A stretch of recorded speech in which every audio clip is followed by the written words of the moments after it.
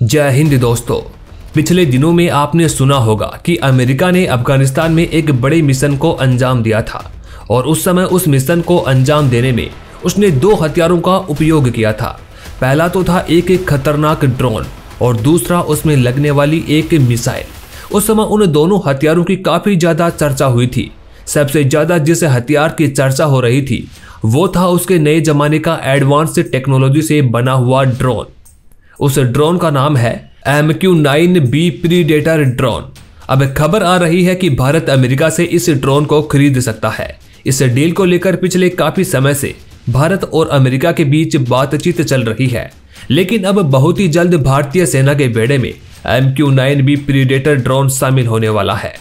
तीन अरब डॉलर, यानी कि बाईस हज़ार करोड़ रुपए से अधिक की लागत वाले तीस प्रीडेटर आर्म्ड ड्रोन को खरीदने के लिए भारत और अमेरिका के बीच बातचीत आखिरी दौर में है। हालाँकि कुछ मुद्दों को सुलझाया जाना बाकी है। दोस्तों, भारत जिस वर्जन को खरीदने जा रहा है, उसे दुनिया का मोस्ट एडवांस्ड ड्रोन कहा जाता है। दोस्तों, आपको इस ड्रोन के भारत आने की तारीख बताएँ। उससे पहले इस ड्रोन की खासियतों को जान लेते हैं। दोस्तों, इससे पहले यह ड्रोन 2020 में ईरानी जनरल कासिम सुलेमानी को निशाना बनाने के बाद भी चर्चा में आया था। इस ड्रोन की खूबियाँ यह है कि यह ड्रोन चमगादड़ की तरह रात में देख सकता है, उल्लू की तरह शांति से उड़ सकता है, बाज की तरह हमला करके गायब हो सकता है। मान लो कि यह एक शिकारी है, यह दुनिया का सबसे खुफिया और ताकतवर जासूस है। दोस्तों, इस ड्रोन को उड़ाने के लिए दो लोगों की ज़रूरत पड़ती है, जो ग्राउंड स्टेशन पर बैठकर वीडियो गेम की तरह इसे चलाते हैं। इसकी एक ही खासियत जानकर आप हैरान रह जाएँगे। वो ये कि यह दुनिया का पहला ऐसा ड्रोन है, जो हंटर किलर यूएवी श्रेणी में सबसे ज़्यादा समय तक और ज़्यादा ऊंचाई से निगरानी करने में सक्षम है। यह हवा में लंबे समय तक उड़ान भरने की क्षमता रखता है।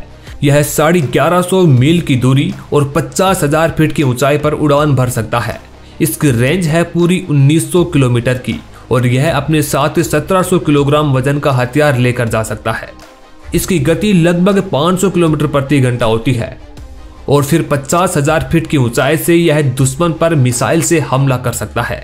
इसे इस तरह से डिज़ाइन किया गया है कि लंबी दूरी की उन जगहों पर जहाँ पर वायुसेना नहीं पहुँच पाए, वहाँ यह पहुँच सकता है और उस मिशन को अंजाम दे सकता है।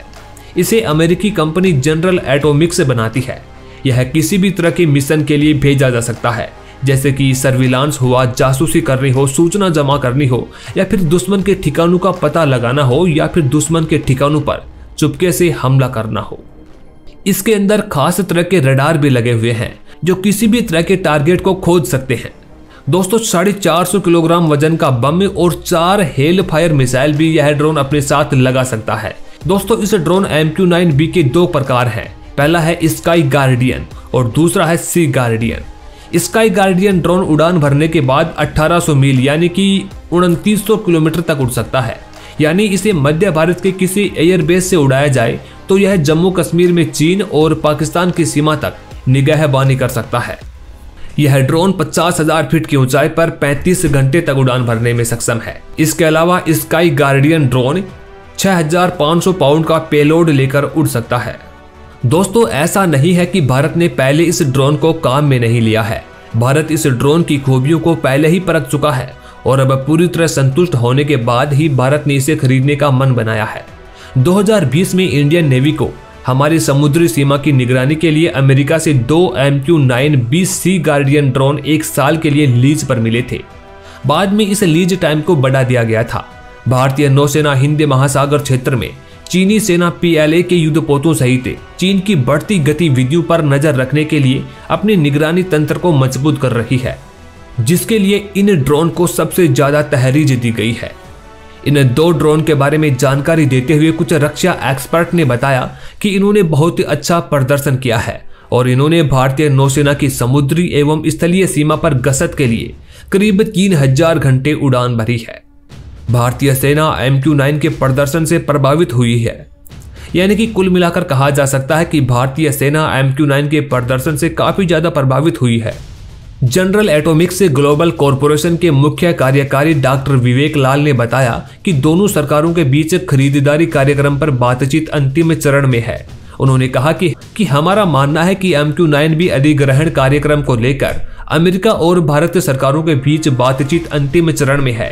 इस ड्रोन को तीनों सशस्त्र बलों, यानी कि थल सेना, वायुसेना और नौसेना के लिए खरीदा जा रहा है। दोस्तों, अगर आपको याद हो तो इसी साल अप्रैल में वानसी गठन में भारत और अमेरिका के बीच विदेश और रक्षा मंत्री स्तर की बातचीत हुई थी। अंदाज़ा लगाया जाता है कि इस ड्रोन की खरीदी पर इसी वक्त में चर्चा हुई थी। भारतीय नौसेना ने इस ड्रोन की खरीद के लिए प्रस्ताव किया था और तीनों सेनाओं को 10 से 10 ड्रोन मिलने की संभावना है। इन 30 ड्रोन को चीन के साथ लगने वाली लाइन ऑफ़ एक्चुअल कंट्रोल, यानी कि एलएसी, और भारत की समुद्री सीमा में सर्विलांस और सिक्योरिटी बढ़ाने के लिए इस्तेमाल किया जाएगा। दोस्तों, वहीं कश्मीर के पहाड़ी इलाकों पर नज़र रखने के लिए इंडियन आर्मी फ़िलहाल में इसराइल से खरीदे गए ड्रोन्स का इस्तेमाल कर रही है। लेकिन जो अमेरिका से अब ड्रोन खरीदे जा रहे हैं, वो प्रीडेटर ड्रोन जेट की रफ्तार से उड़ते हैं। इन ड्रोन्स के मिलने के बाद भारत, पाकिस्तान और चीन पर आसानी से नज़र रख सकेगा।